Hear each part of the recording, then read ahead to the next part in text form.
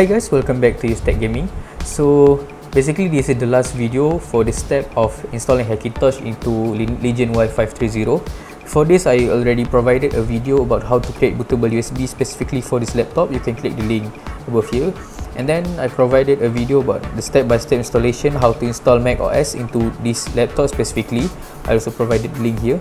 And then it's continued by how to use USB Wi-Fi as we know that the default Wi-Fi card is not working. So um, you can also watch it here if you didn't watch it yet.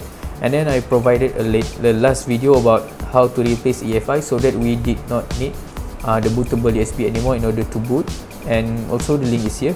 And before that uh, for those who did not subscribe yet please click the subscribe button below and also the ring bell button so that I will continue to provide a video about gaming, tech and Hackintosh maybe later.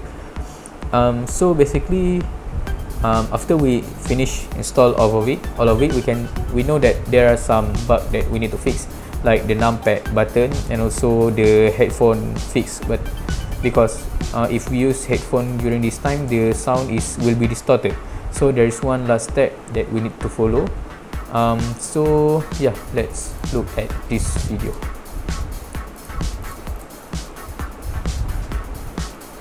okay so basically um, there is a command file that we need to run. I, I will provide the link in the description below. So basically this is the command that is provided in from the forum of Tony X86 it is credit for Xiaomi 45 I think. Um, so what we need to do now is we just search for terminal. Okay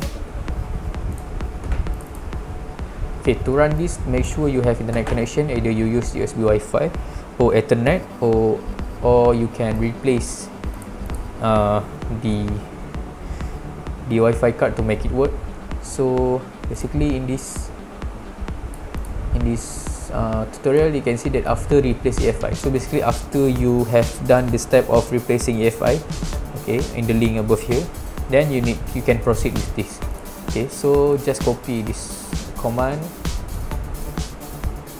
copy and then paste it in the terminal. Then just click enter. It will ask for password just write your password. And then it will run. Okay so basically just wait for it until it finished.